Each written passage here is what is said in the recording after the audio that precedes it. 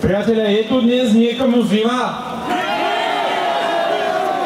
Nie, nie je zima. Nie je teplo pri srdci, lebo Slovensko sa zobudilo konečne.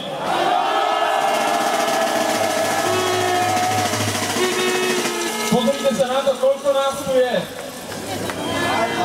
Po celom Slovensku sú nás desiatky tisíc. A viete, komu ešte nie je zima? Našim gorilám, im je veľmi horúco teraz.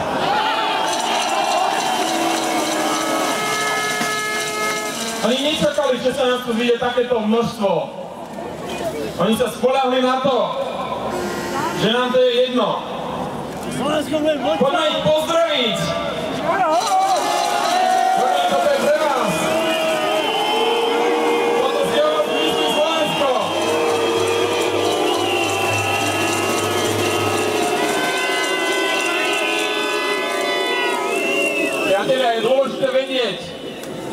sme sem dnes prišli. Dnes sme neprišli házať banány ani vajíčka. Dnes sme prišli, aby boli vyslyšané a splnené naše požiadavky. Obzvlášť jedna najdôležitejšia. My si zaslúžime, aby boli vlastizradcovia potrestaní, exemplárne potrestaní.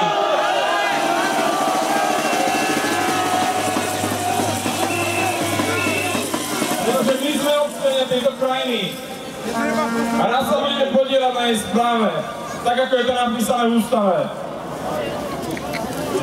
My netolerujeme korupciu. Priateľe, je dôležité si uvedomiť, že zastupiteľská demokracia je podplatiteľná demokracia. Po voľbách môžu prísť ďalší politici a tí sa nechajú opäť podplatiť. Politici ale priamu demokraciu nikdy neponúknú, oni ju ignorujú.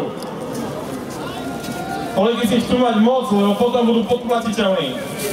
Mimochodom, viete o tom, že Slovensko je na 66. mieste v rebríčku podpla- podplatených krajín? Aj to miesto sme si museli zaplatiť.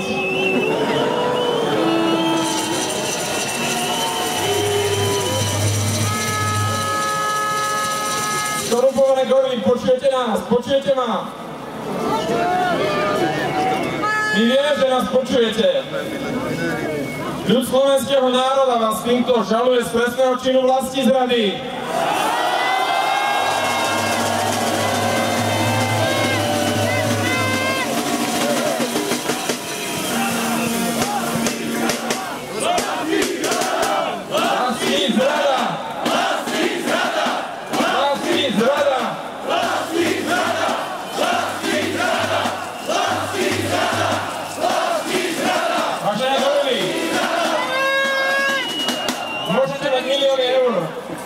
Ale ja ako obyčajný človek mám oveľa viac.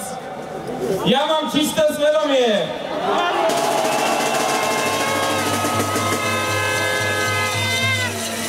Zatiaľ táto korupcia sa netýka len jedného človeka alebo jednej strany. Týka sa celého systému a jediná liečba je zmeniť systém. Nestačí, keď odstúpia ministri. Pretože každá ďalšia garnitúra môže byť pod vplyvom finančných skupín. Každá ďalšia garnitúra môže čeliť pokušeniu vziať 200 miliónový úplatok.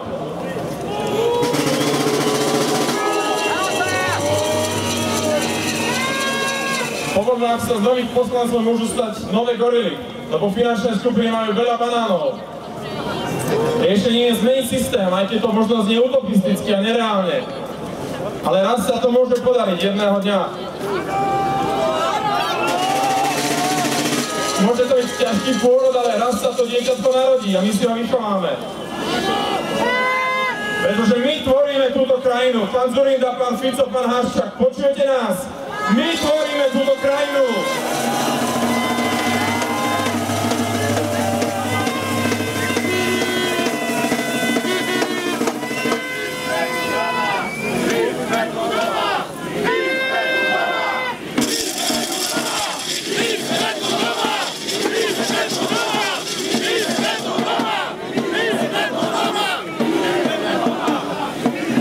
Strašne nájsť lídrov, ktorí povedú toto hnutie.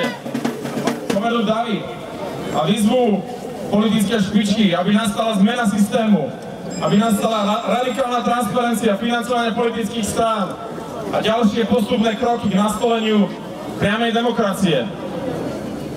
A my Slováci to dokážeme. Do- dokázali sme veľa. Vydobili sme si vlastný jazyk. Povstali sme proti Nemcom v druhej svetovej vojne. Zvíťazili sme v novembri 89 a porazili aj systémovú korupciu. Postupne. My sme Slováci a my nepotrebujeme politikov.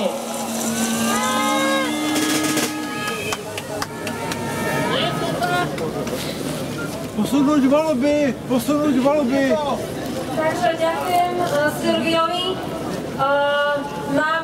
podľa mňa nevyskytujú sa tu opäť politici. My sme silne apolitickí, týmto im odkazujeme agitačnú sľovte niekde inde. Ale nie tu.